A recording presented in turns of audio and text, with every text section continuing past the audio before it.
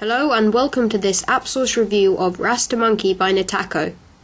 Rasta Monkey is a 2D adventure game with physics-based gameplay which takes full advantage of the iPod Touch and iPhone's capabilities. You play as a baby monkey who has been asked by his father to collect food for him before he dies. You have to swing round branches using single and multi-touch gestures on the touchscreen to collect the fruit each level has a certain goal of fruits you need to collect before it is completed and you reach the end, then continue to the next level. As you progress through the levels, the complexity of the gestures you have to use is increased, and the levels require more imaginative and creative movements. Like many other iPhone games, when you first launch Rasta Monkey, you get a tutorial explaining the controls and the different movements.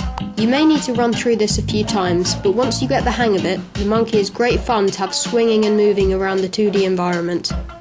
The levels become longer and more difficult, with more fruit to collect, and the introduction of monsters to avoid. As this is Rasta Monkey, there has to be some form of reggae soundtrack. The original music created specifically for the game is great and certainly keeps you entertained while swinging and jumping around. In conclusion, Rasta Monkey is yet another game designed to utilise the iPhone and iPod Touch as a valid gaming platform. It does seem to borrow some gameplay and graphical aspects from games such as Rolando and Sway, however, the context and great music make it unique.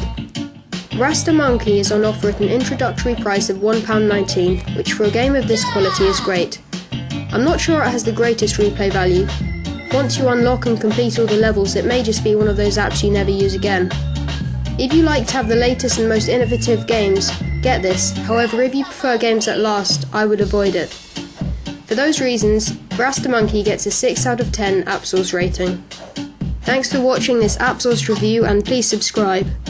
If there are any apps you would like the AppSource team to review, please leave a comment or send us an email.